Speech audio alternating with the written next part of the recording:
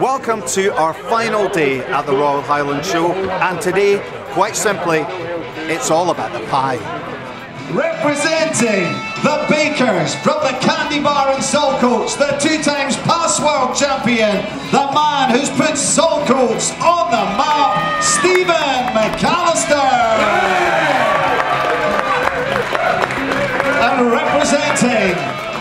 The reigning Scotch Pie World Champion, a former Scottish Haggis Champion, Alan Pirie.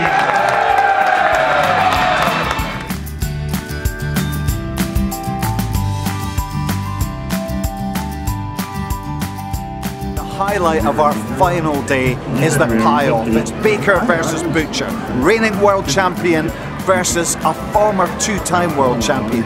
And right now, the pies are under the microscopic gaze of top chef Justin Moore. Which way will we go? For the Scottish Pie Off Champion for 2018, Butcher or Baker? They're both absolutely delicious. Today it's Baker for me. Your champion from the Kandy Bar in Saltcoats, the man who's been a two-time world champion and is now our champion here, Stephen McAllister. The champions! So champ,